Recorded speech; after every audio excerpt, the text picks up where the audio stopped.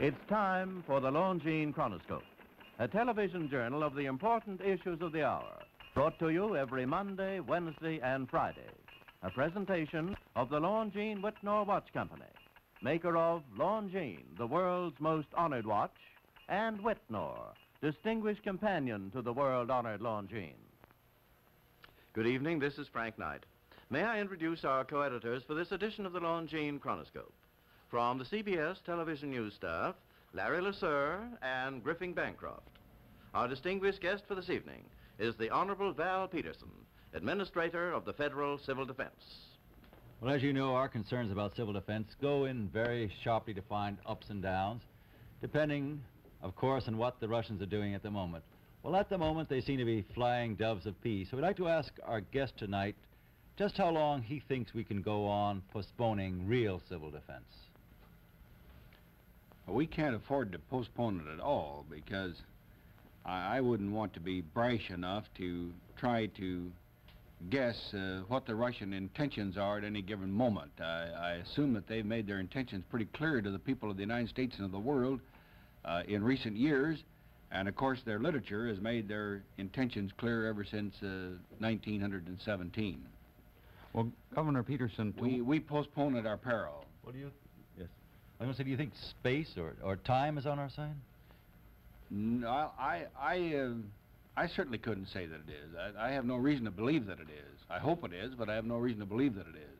Well, Governor Peterson, I wanted to ask, to what extent is uh, is civil defense a, a, national problem on the national level, or to what extent is it a problem for the states and local communities? Well, our civil defense law in the United States at the present time uh, is written in such a way that civil defense is a cooperative enterprise between the national government, the states, and the localities. And I suppose I'm the only individual in the federal government whose troops, so to speak, are uh, under the control directly of the state authorities and the local authorities. And my job, of course, at the, at the federal level is to, is to uh, gather information and to disseminate that information to the people in the states and in the cities. And we have unparalleled sources of information in the scientific uh, agencies that are uh, organized and active in Washington and through the Department of Defense. And we do do a job of disseminating this information to the people in the 48 states that they couldn't do for themselves locally. Also, it is our job to exercise some leadership, and we provide some money for civil defense. Well, the actual control is in the on the local level. Do you think that's right, or do you think there should be more uh, uh, concentrated federal control? Well, uh, that's a subject that you could debate. I mean, uh, I, either one of us could take either side of it with a certain amount of logic. However, I'm inclined to think, and I've thought about this a good many times, and I've operated both at the local level, you see, as the governor of a state. As a matter of fact, we drew up the Civil Defense Act in my state that, during the time that I was in office, and uh, now I'm operating at the national level. But there's a great deal of sense in having civil defense a local responsibility because if and when this attack occurs upon the United States, the bombs will fall in the localities.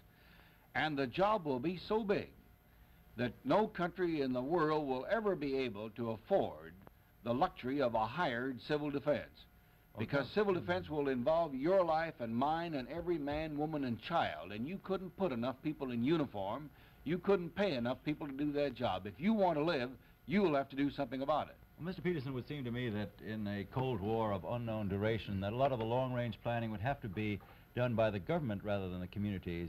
Would take, for example, the dispersal of industry. How about that? Well, we're that's right. We are doing long-range planning at the national level, and that is perfectly proper. Now, in the dispersal of industry, the responsibility in that field, it happens in the federal government, rests with Dr. Arthur Flemming, who is at the head of the Office of Defense Mobilization.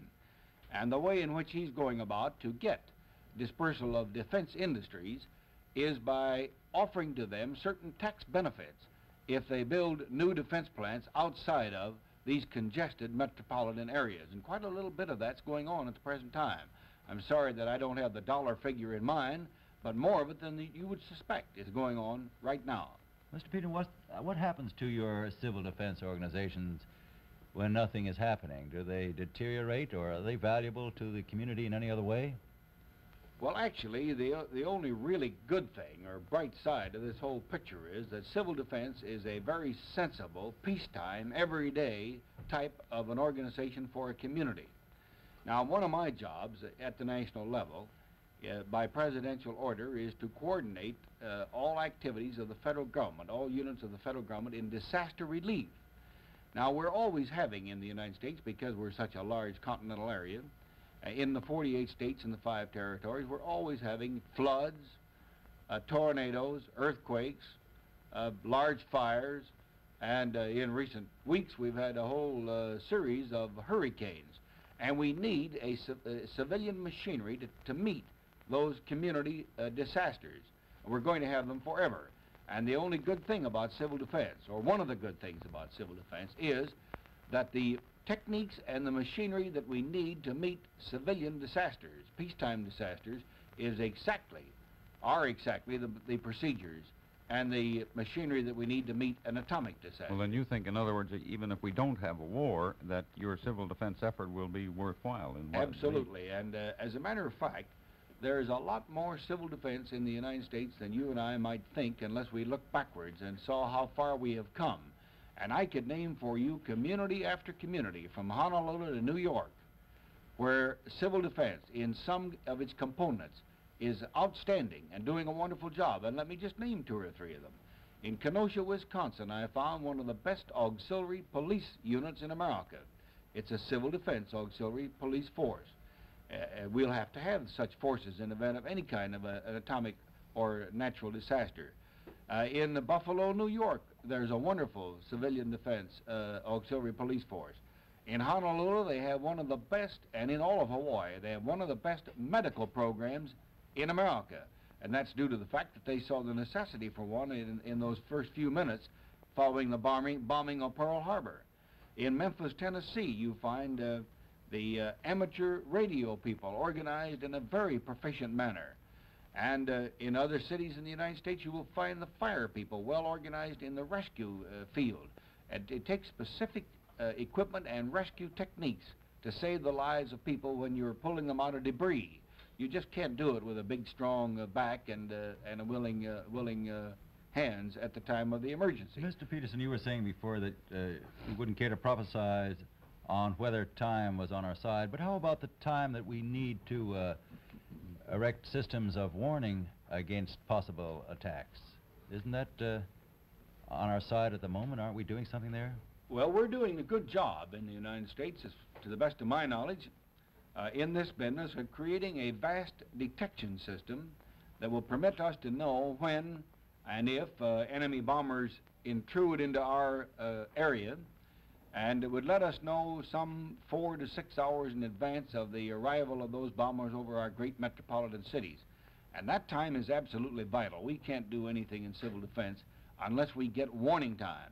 Now, that detection system will be made up of picket ships at sea carrying radar equipment, land installations, radar and other listening devices, and airplanes flying in the skies. And I noticed a, a story in the papers just recently about uh, uh, one of the first flights of uh, one of those airplanes out on the Pacific coast. And uh, that detection system will have to extend all the way from Hawaii up over the northlands of Alaska and Canada to Iceland and Greenland and down to the Azores. And if we're ever stupid enough to let the communists get into the south of us, as they tried it one time last summer, you remember, then we'll have to have the same thing to the south. Now, um, those uh, systems must be in depth. And uh, then we'll get this warning time, and our uh, plans at the present time are to request the American cities to evacuate their populations, get the people out, because if these hydrogen or atomic weapons are dropped on these great cities, uh, there's just no hope for life on the part of the people who remain in them. Well, Mr. Peterson, as I understand it, this detection system that you describe is part of the military establishment rather than yours.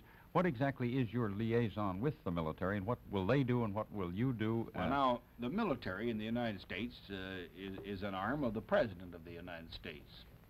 The Secretary of Defense, uh, Mr. Wilson, is a lieutenant of the President of the United States for defense purposes. I'm a lieutenant of the President of the United States for civil defense purposes or passive defense purposes. We're in, a, we're in exactly the same status i- uh, with respect to the place where we report. Uh, obviously, the military uh, organization, the Department of Defense, is a much larger, a much better established, and a much more expensive operation than the one that I had. I'm not trying to make any invidious comparisons here in the responsibilities of the of the two jobs, but uh, um, that I, th- I believe that answers your question. Mr. Peterson, have you ever given any thought to the command decision which would call for the evacuation of cities? Now, would you wait for a declaration of war or for the dropping of a bomb? you can't wait for a declaration of war in this modern age. Uh, if these Russian bombers uh, intrude uh, into the territory of, of uh, the United States and Canada, uh, the minute that uh, our air, American Air Force finds them in the air and starts shooting, uh, World War Number Three has started. Well, do you mean, in other words, that we cannot let an unidentified aircraft appear near our cities? We cannot. We cannot. Uh, we cannot permit an unidentified aircraft to come in anywhere at all into the North American hemisphere, uh, because one airplane carrying one bomb in the future will be able to carry more explosive force in terms of TNT than all of the airplanes that bombed England in the whole last war. Or if you want to put it the other way around, all of the airplanes that bombed Germany in the last war. Well, Mr. Peterson, when you speak of evacuation, what about this uh, this fallout? We heard so much of it uh, in the Pacific. Aren't people likely to be hurt if they're evacuated by the by the radioactive cloud coming down 80 miles away? Well, uh, you have three effects, primary effects, when you explode an atomic or hydrogen weapon. You have the blast effect, and that a blast effect, depending upon the size of the weapon, will create total destruction for an area, a radius of a certain number of miles. Then you have a fire effect. Now then, the first job is to get people out of the area where they're going to be killed, certainly by blast or by fire. Now, when you have get them out of the out of that area, you face the third effect, and that's the radioactivity, uh, radiological effect.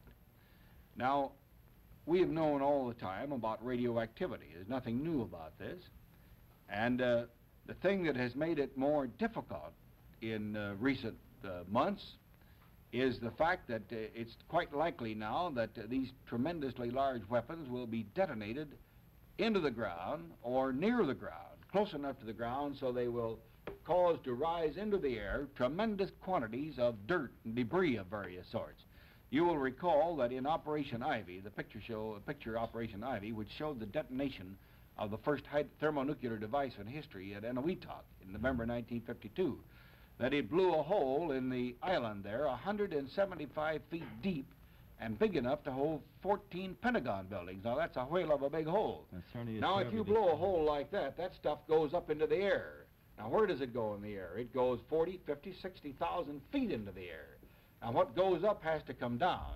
And so uh, uh, we've, I- I we've been familiar with this I see process what for a your long problem time. is. Thank you very much, Mr. Peterson. It's very kind of you to come up and tell us about that. The opinions expressed on the Longines Chronoscope were those of the speakers. The editorial board for this edition of the Longines Chronoscope was Larry LeSueur and Griffin Bancroft. Our distinguished guest was the Honorable Val Peterson, Administrator of Federal Civil Defense. This is Frank Knight, reminding you that Longines and Wittnauer watches are sold and serviced from coast to coast by more than 4,000 leading jewelers who proudly display this emblem, Agency for Longines Wittnauer Watches. And be with us every Monday, Wednesday, and Thursday at this same time for the program of the Longines Chronoscope.